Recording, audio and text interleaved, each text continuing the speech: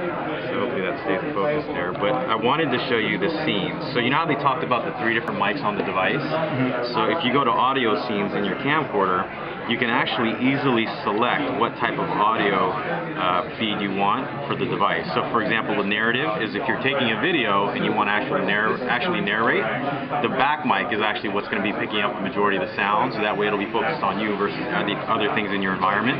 Then you've got outdoors, which you know util utilizes like noise cancellation and it kind of cuts on the wind noise. So that way you'll have a, a, better experience there. You've got Everyday, which all three mics are lit up and it's capturing everything in your environment. That's pretty clever. Is that something that Motorola added? or? Yep, it's actually something Motorola added. And then you've got Subject. So this is, you know, you've got that five-year-old birthday party and you, you want to focus on what your child's saying and not all the other noise and hoopla going around you. It then fires up the front mic to take priority.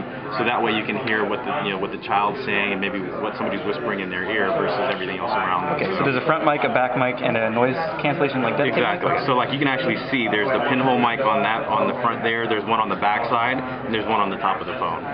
So but that's a pretty that's a pretty neat feature, especially because of the high video capability or the high definition video. To be able to do that with sound as well is pretty amazing. And then you guys all heard about the HDMI out, right? So that's down here at the bottom.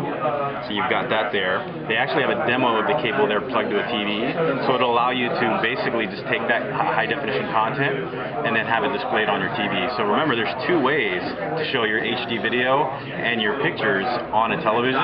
You can either do it wirelessly through DLNA, or you can do it using the Cable. Okay. Is there going to be a dock? Uh, there is a dock. Okay. So you'll have that ability, and the dock actually incorporates an HDMI port as well.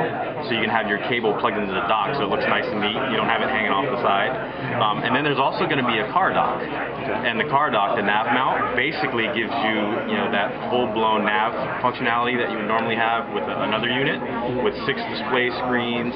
Um, you know, the ability to actually have a dedicated power source to your vehicle, um, and then you also have the ability to have a audio uh, jack with a 3.5 millimeter that'll let you plug it into your car stereo.